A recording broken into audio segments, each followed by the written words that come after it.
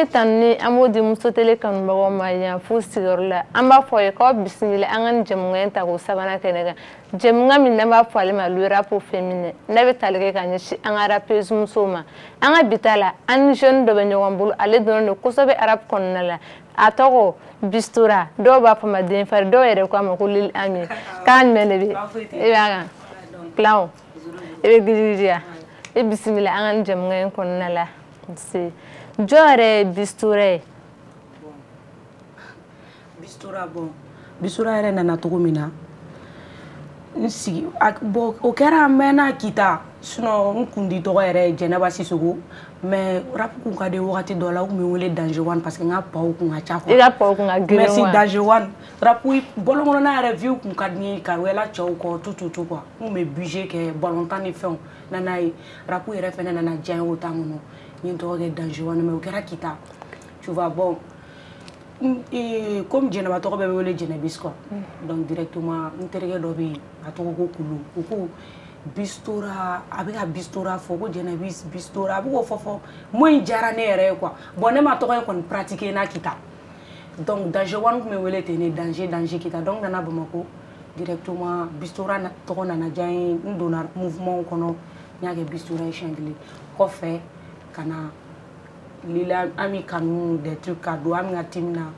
dɔnya kɛ lila ami ye siɲɛ kelen wa denfarin don denfarin bɔ ami yɛrɛ bɛ wele denfarin ne bɛ wele denfarin an ta k'i bɛ timi denfarin kɔnɔ tɛ denfarin donc aw ka timi tɔgɔ de ye denfarin timi denfarin d'accord o ɲininkali faamuyala ko e, e, bistora e donna rap la cogo di mm, bon n b'o de f'i ye depuis kita rap kun ka di ne ye mais n t'a dɔn n b'a kɛ cogo min na n nana bamako donc n bɛ kalan ni fɛnw na bon komi hip hop style ni fɛnw bɛ na kuwa donc dɔ b'an ka kare kɔnɔ bangɔni na o tɔgɔ daruwan wagati y'a sɔrɔ n mɔgɔ kuralama don niveau la kuwa donc a ko ko n ka don est ce que ni rap ka di ne ya ne ko oui n ko rap ka di ne ye kuwa ko bon an ka taa studio la an taara studio la jibos fɛ yen nɔ o mɛnna depuis 2012 donc an taara studio la an ye featuring dɔ kɛ ɲɔgɔn fɛ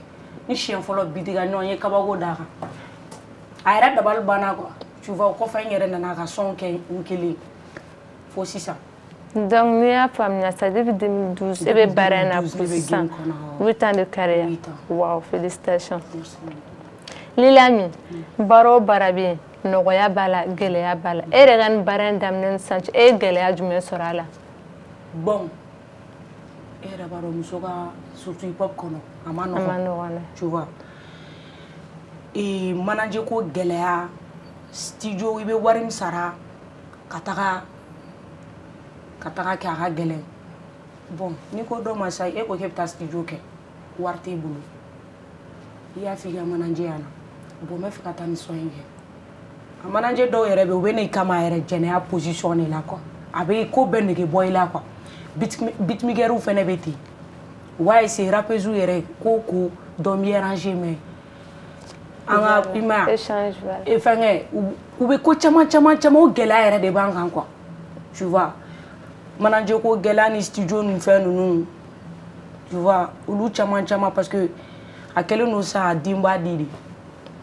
i ma ya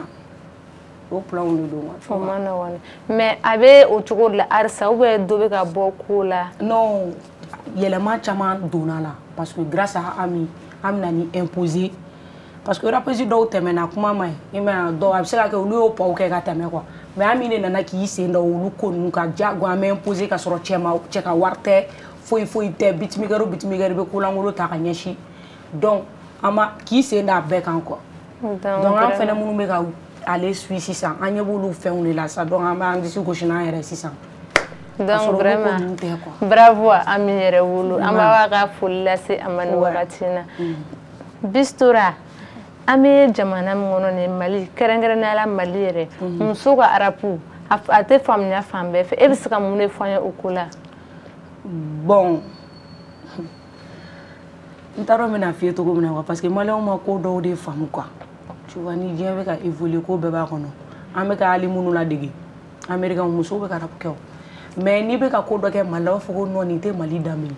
ne yɛrɛ b'o kuma o mɛ aw bɛ rapu kɛ est ce que mali yɛrɛ danbe don wa aw bɛ rapu ni fɛnw kɛ kɛ nin t'aw danbe ye dɛ aw bɛ nin style ninnu kɛ est ce que nin bɛnnen don aw la ko sugu bɛɛ kuwa malifaraya yɛrɛ sansi o b'a essayer ka an kɛ olu ko mɔgɔw de ye kuwa tu vois nin t'an dama ye ni bila ye ko wɛrɛ kɛ finalement yɛrɛ baara ka di ni kun ye mais société bɛ i i traité cogo min na a bɛ baara nege bɔ i la a bɛ baara nege bɔ i la quoi tu vois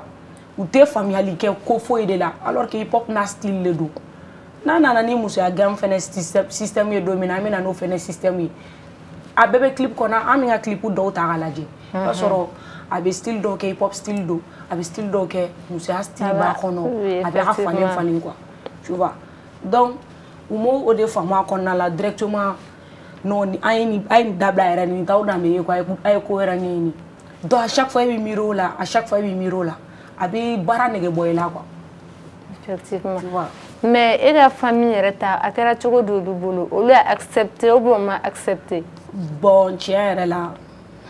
n grand sœur alors qu'on bɛ n en ani n ka bon n nous de ma femme parce que mon père est décédé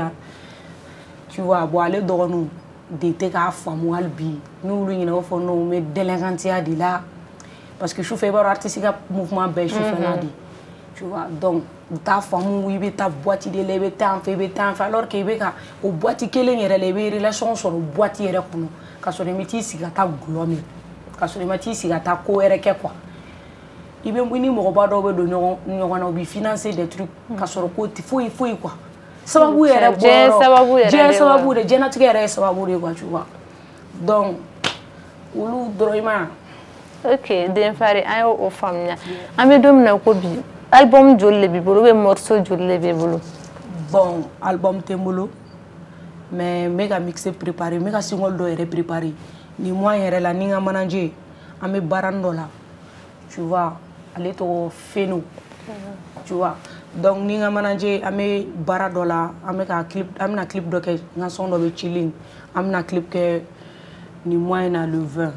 tu vois inshallah donc an bɛ k'o projetw bɛ ka na quoi mixer mais n bɛ fɛ ka album tɛ n bolo mais n bɛ ka mixer fɛnɛ préparation kɛ quoi tu vois ok lilani mm. e ye concours joli participer ou festival bon n ye concours kɛ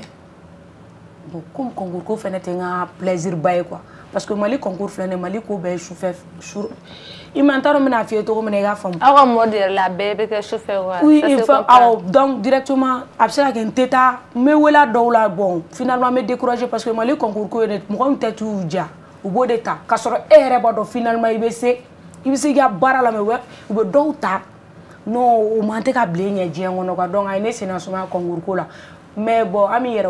le Mali a des c'est première première édition la la dame anw de là mais Betty Choco Batos yɛrɛ Daumi Bébé Corolla, Diva avec Team Famillion ani Oje Diga bas de quoi première édition édition donc on va participé mais finalement c'est la première où on la trouvé ce rôle là. félicitations merci beaucoup. Eh, eh, mɛ e an bɛ don mina ko bi arabu yɛrɛ ye mun de lase ma komi nafa bon vraiment ye nafa min lase ne ma hali ka dan genre côté financière la n ka fɛn bɛɛ yɛrɛ de n ka foyi tɛ famille kan rapu parce que n bɛ concert misɛnninw kɛ genre yɔrɔ wɛrɛw la quoi dugumisɛnninw na n bɛ wele ka taa ɲɛnajɛw kɛ n bɛ wari sɔrɔ a la n b'a dun tu vois depuis 2012 fo sisan n yɛrɛ ka fɛn bɛɛ n yɛrɛ de n ka fɛn bɛɛ n yɛrɛ bɔ rapu n bɛ se k'a fɔ o y'a nafa dɔ ye quoi Ima. Okay. Mistura, mune kari e jiyangono? Yeah. Mi kari ne jiyangono iwa doa. Mm. Ye miziki yɛrɛ de ye. Miziki ne kari ne jiyangono ma foyi bulon ɲɛ kuwa. Ma foyi bila. Ma foyi bila. Woloba ta kɔfɛ dɛ. Ala ni Ala a n'a kira bɔlen a kɔfɛ woloba bɔlen kɔfɛ n ye kanu o bɛɛ kɔfɛ. O ye hmm. miziki de ye Ani balontan ne fɛnɛ kun ka di ye mɛ hali sisan balontan ka ye mɛ n ye Mais depuis 2000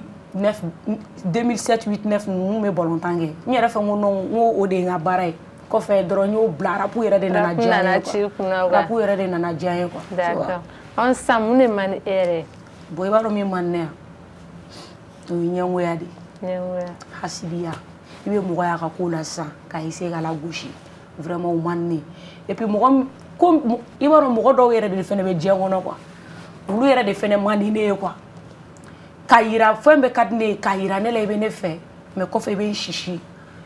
i bɛ ko sugu bɛɛ kɛ na i bɛ kuma sugu bɛɛ fɔ n kɔfɛ kuwa mɛ i mana i bɛ yɛlɛ jɛgɛ fɛ den fari i bɛ di plɔn plɔn plɔn k'u b'o de la yan u b'an sɔrɔ ɲɛfɛ yen an ɲɛ b'u la wa mɛ u bɛ taa sɔrɔ ɲɛfɛ inchala komi yɛrɛ bɔra ka nin fɔ ɲininkali dɔ kun n tɛ fɛ k'a fɔ mɛ i bɛna oblige n bɛna f'i ye e ni rapiste tɔw lien jumɛn b'aw cɛ i n'a fɔ classe ni fɛn ninnu bɔn fili n t'a dɔn n bɛna fiyɛ cogo min première édition et in na donc bɛɛ parce que ne ye Lili Ami yɛrɛ wele mɔgɔw b'a fɔ est ce que Ami n'a ka mɔgɔw ta ka di mhm. mais donc don kama membre de jury c'était ATT Junior fukendi et Nayet ale fɛnɛ rappeuse kɔrɔbalenba dɔ ye quoi Nayet ani jo dɔ tun bɛ bɔ n t'ale tɔgɔ arajo somɔgɔw bɛɛ kun bɛ ne yɛrɛ jiginnen ka bɔ sɛni sanfɛ bɛɛ b'a kalama nɔ jo dɔ bɛ baara kɛ maliba fm na ko jp a ye n ta kɛrɛfɛ a ko ta ko nɔn k'i b'a kalama ko lili k'i bɛ ta parce que i nana ni conscient min ye la paix non vraiment bɛɛ yɛrɛ b'a dɔn non sɛni yɛrɛ to yen est ce que bɛ ka ya bɛɛ b'a dɔn ne de yɛrɛ de kun an ka ta quoi parce que a mɔgɔ si kun tɛ min kun bɛ se ne ye quoi bon o temps de kɔnɔna la sisan o concours bannen trophée dira ne ma donc rapesi dɔ wulila ka fan bɛɛ kɛ clash ye concours dira ne ma de ale de kun an ka ta de turuk alors que biti bɛ faransi a bɛ amériki ale bɛ amériki biti bɛ faransi u tɛ fan kelen yɛrɛ fɛ yɛrɛ bɛɛ o ko tiɲɛ kuwa a wulila ka clashiw wuli fan bɛɛ fɛ a bɛ an bɛ tan ne yɛrɛ bɛ tan facebook la de turuk donc a mana jo ni an kun bɛ groupe dɔ sanfɛ le mala de rapes groupe kelen kun bɛ whatsapp sanfɛ a ka mana jo b'a ka information bila u kɔnɔ. ne b'a wuli manajɛ la u kilasi ninnu tɛmɛna ni ɲɔgɔn cɛ ka na bɛnbaliya dɔ don an ni ɲɔgɔn cɛ kuwa est ce que bɛ ka ye bɔn olu bɛ yen nɔ bon sinon lien lien ni rapezi tɔ ninnu bɛɛ ka di ni rapezi ne n bɛ se k'a fɔ ni mɔgɔ si tɛ kɛlɛ la yɛrɛ misɛnde ninnu majɛs ɔn etinfa ne ni rapezi ninnu bɛɛ ka di fo mɔgɔ kelen bɔn o mɔgɔ kelen o yadalen de don kuwa Bon. Ok, amman pou mwote Ok, amman pou mwote Eske pou jèbe li amin bolo? Wè, pou jèbe mwolo Iman, bon ah, A bete bon, gafo A mwote dote A fle bè wè wè Bon, wè la 2000, komiswa mwen ayle mwen raba Chimayana 2021 konon, incha la Mwen lè ou mwen kowe kwa A mwen mikse pou mwen adjit Li pou mwen gafli fambe fe i m'a an bɛ kɔnsɛriw fɛnɛ boloda yɔrɔ niveau dɔw la hali n'a ma kɛ bamakɔ ye quoi tu vois olu kow bɛ yen parce que n ka fani yɛrɛ fɛnɛ ka ca kɔfɛla ninnu na ka tɛmɛ hali bamakɔ kan quoi tu vois an ka négezan dɔw bɛ extérieur la olu bɛ n suit trop u bɛ ko caman ba u bɛ mago caman de ɲɛɲini i m'a ouais mais est ce que clip b'i yɛrɛ bolo i kelen ka clip ouais n kelen ka clip bɛ yen nɔ la paix c'est sur youtube et non a tɛ youtube sanfɛ parce que ma chaîne youtube ko nu m'a kɛ n kunna donne ten fɔlɔ parce que musique n b'o de f'i ye mali musique ko quoi ne ne kun b'a la tan n b'a la n t'a la quoi parce que mun na u tɛ ka valeur kɛ hip hop féminin na quoi bon chaîne youtube dun n'i ko k'i bɛ chaîne youtube dayɛlɛ f'i k'a dayɛlɛ faransi pour que i ka se ka nafa sɔrɔ a la bon an b'olu kɔni baaraw la fɔlɔ yeah. ok mm -hmm. lilami an bɛna sɛnsɛn ka se an ka émission kuncɛyɔrɔ ma mm. mais an tɛ nin labila ten tɔ i bɛ akapela dɔ kɛ komi an yɛrɛ bɛ muso tv kɛnɛ kan donc i bɛ akapela dɔ kɛ ok namɛbɔw namɛbɔw an tɛ mɔgɔ si lamɛn no no ɛ an bɛ ɲɔgɔn suit trop ani pusi nege de temo ei eh, fo ɲɛnamu ne b'i la n se mana kɛ min ye mo de di ma ayi complexe de nka kow la i gɛrɛna dɔrɔn ka cɛɲi bɔ cogo la ei eh, aw be kuma aw be kuma k'a sɔrɔ nege cɛ a tɛ kɔ na nega wɛsu be yen an dalama do nege zi tan te yen eh, ani wari be yen don o don an be pulo pe yen jɔ cogo t'anw na su kɔnɔ an ma fila caman kan a ayi. ee eh, ee eh, eh, n'aw ta fila o diyara merci beaucoup. Yeah. muso tele filɛbagaw nin bɛ dankari an ka ni jamukan in na an b'aw ladɔnniya k'a fɔ nka ni lili ami yɛrɛ wololen tun bɛ ɲɔgɔn bolo ni dɔw b'a fɔ ale ma ko den fari mɛ an tɛna bila tantɔ an bɛna u ka kilipu dɔw yira n na kilipu min na ni a ka lili yɛrɛ a ka a ka je sais pas n'a na ka idole yɛrɛ jɛra ka clip ŋa o ni rappeuse caman mhm. clip in tɔgɔ le mali a de rappeuse ale fana bɛ tali kɛ ka ɲɛsin an ka rappeuse musomanw ma an b'a fɔ o de la k'aw kan bɛ nin kɛnɛ kelen kan wagati wɛrɛ.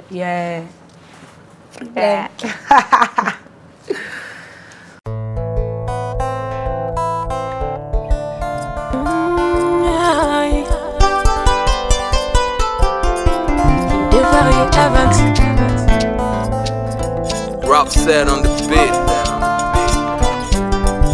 Le malin a de rappeuse. tafatigika rakukeka seka duniɲamakra sirshane tɛ ka ɲina wa sina kanadaw ma o bɛɛ la an tɛ jabi ko parce que tafe fana